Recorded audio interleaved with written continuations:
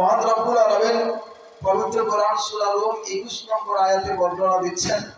আল্লাহ পাক বলছেন আমিন আয়াতিহি আল্লাহর নিদর্শনের অন্তর্ভুক্ত। বা আল্লাহর নিদর্শনের মধ্যে রয়েছে কি?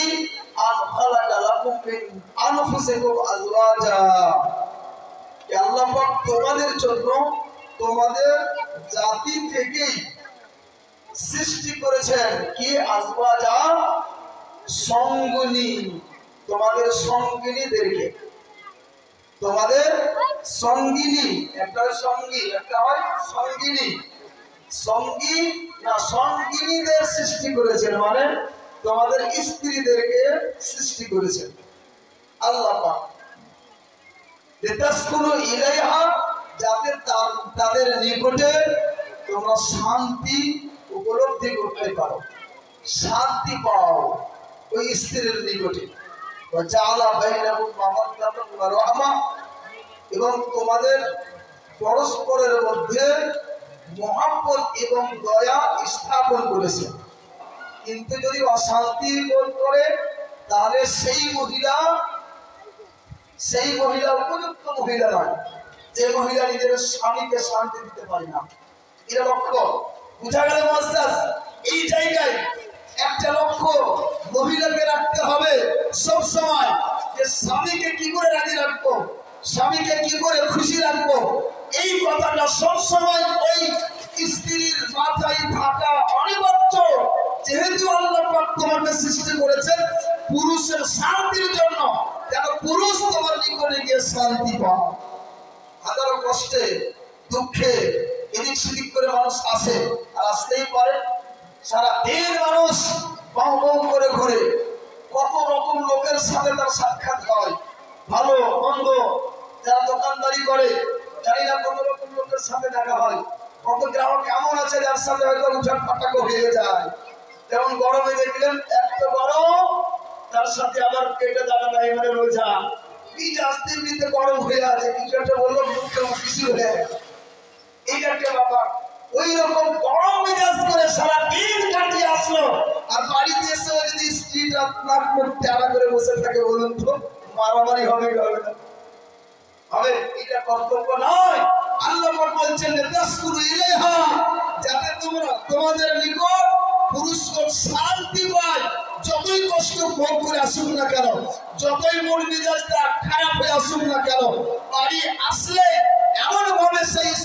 আচরণ করা উচিত।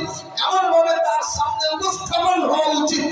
এমন ভাবে তার সাথে কথা বলা উচিত। এমন ভাবে সাজিয়ে সজ্জিত হয়ে উপস্থাপন করা উচিত। যাতে তাকে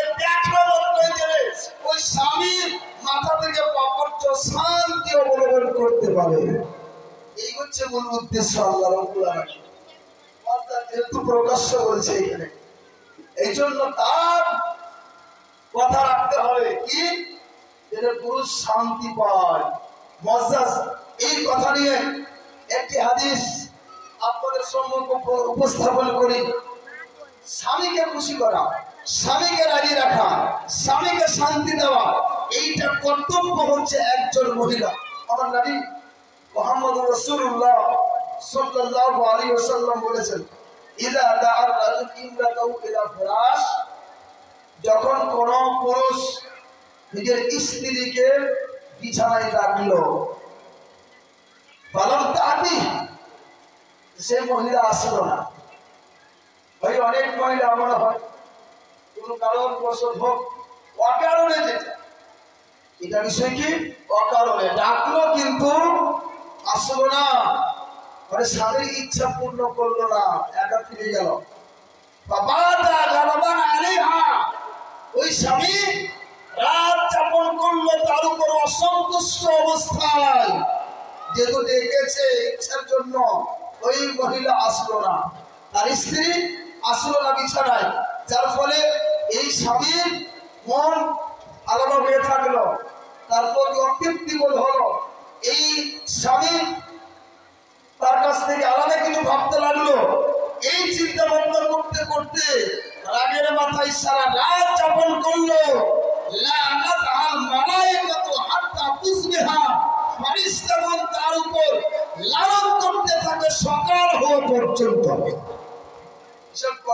পুরুষ যদি মহিলাকে ডাকে নিজের স্ত্রীকে ডাকলো আর সে কথা শুনলো না আসলো না তার বিছানায় তার ইচ্ছা পূর্ণ করল না ওই মহিলার উপর স্বামী নারাজ হয়ে যেহেতু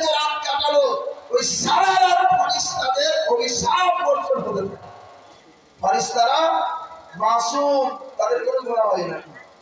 নিষ্পাপ, তার মানে আল্লাহ রব্বুল আলামিন যা বলেছেন তাই তারা করছেন। ওই ফরিস্তারা যদি অভিশাপ করে গ্রহণ হবে কি হবে না? একবার ভাবেন, অবশ্যই গ্রহণ হবে।